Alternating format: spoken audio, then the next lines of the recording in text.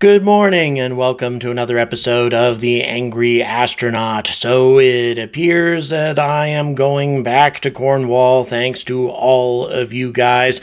I really appreciate your generous support. I'll be leaving in a few days. I don't know exactly the time of my departure, but it's going to be happening really soon because the launch is going to be happening really soon, and hopefully everything goes well. Okay, let's move on to the topic at hand. And there are a number of things, obviously, in regards to spaceflight, space science, whatever, and the way we do things that really piss me off. And one of the biggest things that just aggravates the hell out of me is the field of interstellar travel. Even though we talk about traveling between the stars as being this, you know, far in the future, virtually impossible, but, you know, maybe within the realm of our technological capabilities someday, that sort of thing, it just isn't true. We've known how to travel between the stars for more than half a century, considerably more than half a century. So, what we're going to discuss today is an absolutely colossal ship, an idea that was conceived over half a century ago, and yet is based on a very fundamental principles of uh, fusion power, but not a fusion reactor, simply fusion explosions, which is something obviously that we've been doing since the 1950s, and the concept has been around since far before that. The original idea upon which this starship is based is Project Orion, but this takes Project Orion to the next level. And if we could build a ship like this, and it is within, at least theoretically, our technical capabilities to build something like this, it would allow us to traverse the stars within substantially less than a human lifetime. And we're going to talk about all that in just a moment.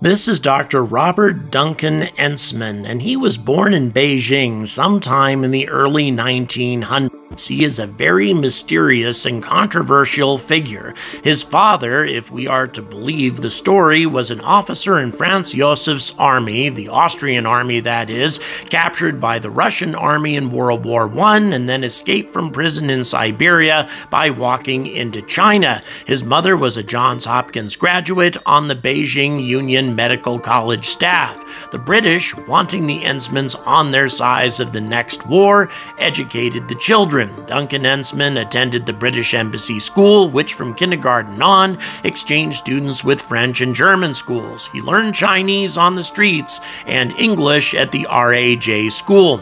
He was a very opinionated individual. Some people say that he lived for almost a century, although we can't even be very certain of his birth date. But regardless, his ideas about interstellar travel were astonishing. The Enzmann starship uses the rather insane principle of detonating nuclear weapons, very small nuclear weapons, approximately 0.15 kilotons, behind a pressure plate that would have shock absorbers in order to reduce the amount of acceleration exerted on the spacecraft, trying to keep it down to, say, 1 g for the benefit of the passengers. That being the case, though, we're talking about one small thermonuclear nuclear blast every second or so in order to provide constant acceleration. The Orion, of course, only has one of these engines providing acceleration on one pressure plate, and in theory, this vessel can reach a speed of up to 10% of the speed of light eventually.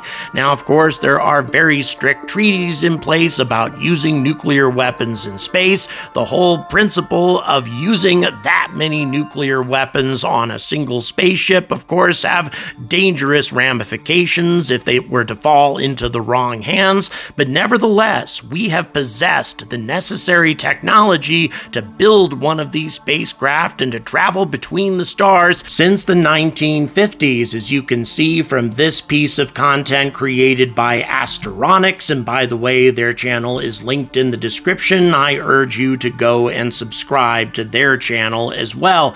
In any event, this is a very simple concept based on very simple principles that we have understood for a very long period of time. And the Enzmann starship simply takes the principles behind Project Orion and supercharges it. That is to say, makes a much, much larger vessel with a lot more fuel and a lot more engines in order to deliver a lot more speed to a bigger payload. This is the idea behind the Enzmann starship. It is simply comprised of an enormous amount of frozen deuterium at the front end and the engines complete with shock absorbers and nuclear explosions at the back end. The number of engines vary anywhere from 7, as you can see right here, up to 24 engines with some of the larger designs. Dr. Enzmann supposedly came up with the concept in 1964, however, it only appeared in popular culture in Analog magazine in 1972. As I said before, it is comprised of a huge ball of frozen deuterium fuel, 3 million tons worth, which would fuel nuclear fusion rocket engines contained in a cylindrical cylinder behind that ball, with crew quarters also included. It would be longer than the Empire's State Building. We're talking 600 meters long overall. The ball of frozen deuterium would power thermonuclear pulse propulsion units, that is to say, nuclear explosions one after another, similar to Project Orion, except a whole bunch of engines instead of just one. The spacecraft would, of course, be assembled in orbit as part of a larger project preceded by interstellar probes and telescopic observation of target stars systems. The rest of the spacecraft would be attached behind the ball as a seamless metallic fuel tank. The proposed method of tank construction would be to expand a plastic balloon in space and then coat it with metal.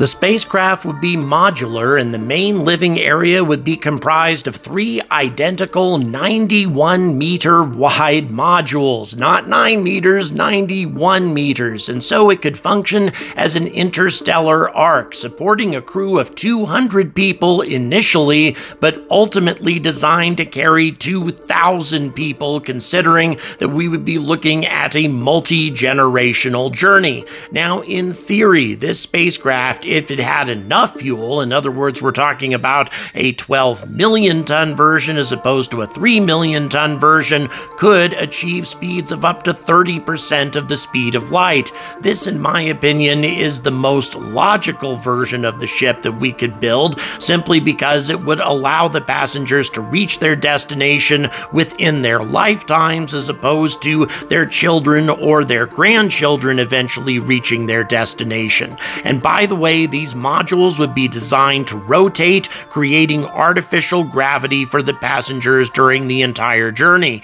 And of course, they would be enormous. We're talking about a city sized starship with a half a million cubic feet worth of living space. Harry Stine, a rocket scientist who did a lot of work on different types of theoretical spacecraft, described the ship this way quote, The cylindrical portion is made up of three identical cylindrical modules docked end to end. Each module is completely self sufficient with its own auxiliary nuclear power plant, a closed ecological life support system, living quarters, communications equipment, repair shops, storage holds, and EVA landing craft. Each drum like module is built upon a central core 50 feet in diameter and 300 feet long. Covering this backbone are eight decks of submodules, each measuring 10 feet by 10 feet by 23 feet. These submodules are used as living quarters, storerooms, laboratories,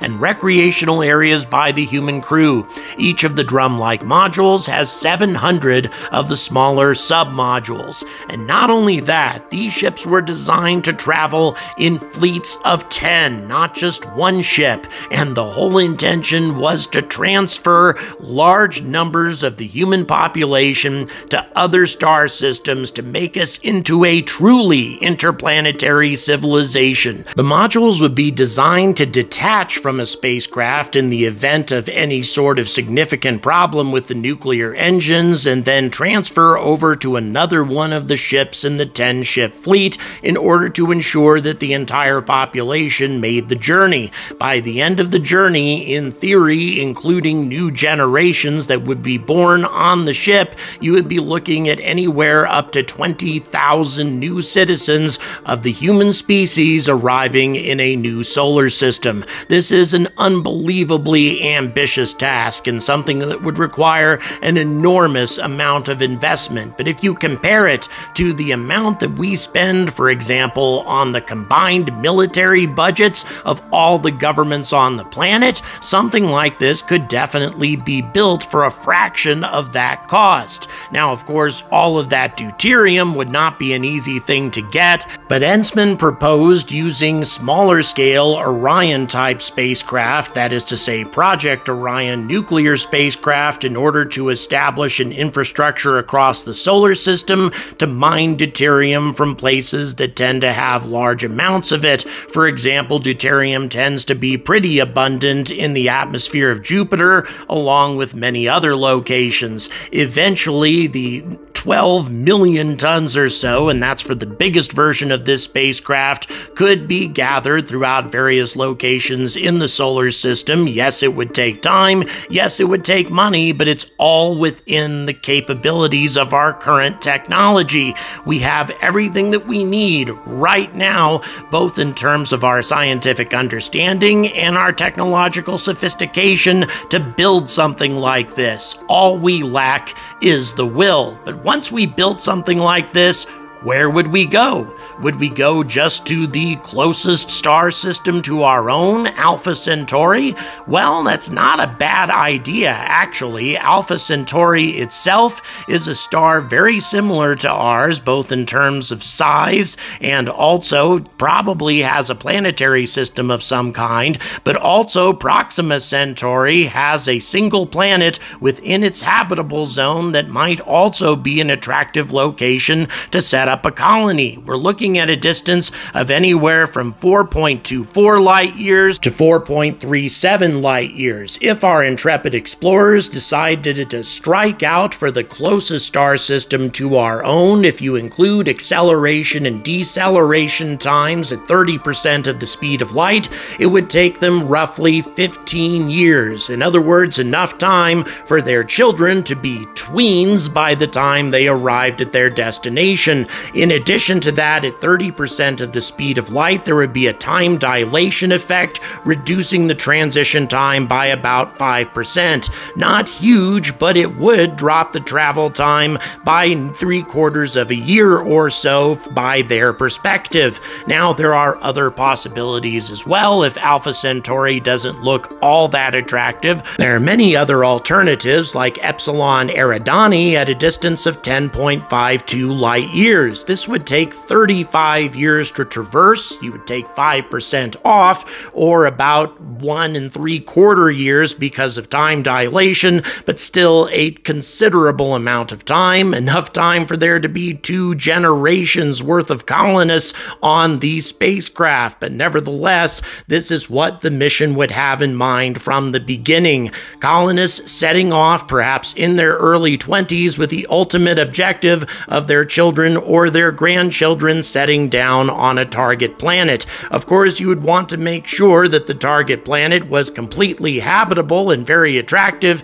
before you set off for it, but nevertheless, all of these things are within our technical capabilities as of right now. Epsilon Eridani is attractive because it's a much younger star than our own, only about 800 million years old, which means any planets that might exist in its habitable zone probably don't have sophisticated life, perhaps maybe bacterial life, and that's about the extent of it, which would make for very, very good targets for colonization because you wouldn't have to compete with any indigenous life forms. Now, there are other advantages to Epsilon Eridani. For example, it has two asteroid belts, two asteroid belts to mine for resources in order to continue the expansion process of the human species across the stars. Indeed, the original colonists who set off from Earth in the first place might decide not to disembark, but rather to continue their journey on their spacecraft once they were refueled and resupplied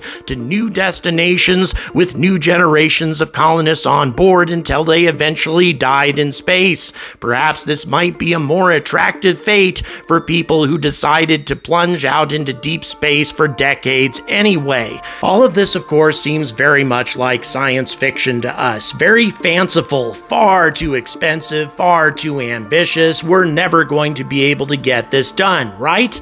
Right? Well, here's the reality of the situation. If after the Apollo program we had decided to proceed to the next level, that is to say, going to Mars, and if we had used Orion Project spacecraft in order to accomplish that, we could have built an infrastructure spanning the solar system already. And having done that, we could have mined all of the necessary materials to build at least one of these Enzmann type starships by the end of the century century, that is to say, the end of last century. All of these things could have been done by now if we had simply remained focused and kept our eyes on the prize. But of course, we haven't done that. After half a century of waiting after the cancellation of the Apollo program, we are only just now beginning to reach out for the moon again, whereas in theory, we could have been reaching out for the stars. That's something that got Enzmann angry when he was still alive, and it gets me angry to this very day.